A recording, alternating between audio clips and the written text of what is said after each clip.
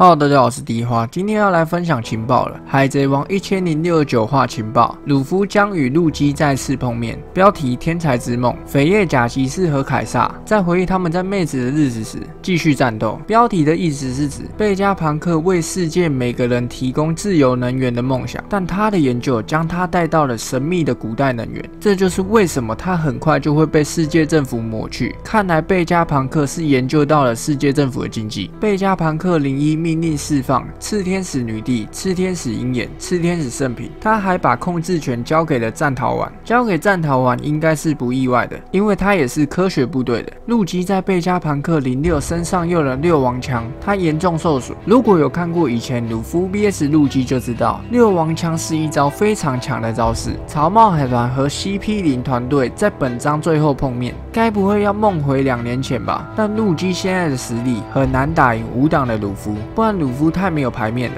我自己觉得很难认真打起来，小打小闹比较有可能。下周不休刊，今天的介绍就到这里，我们下次见，拜拜。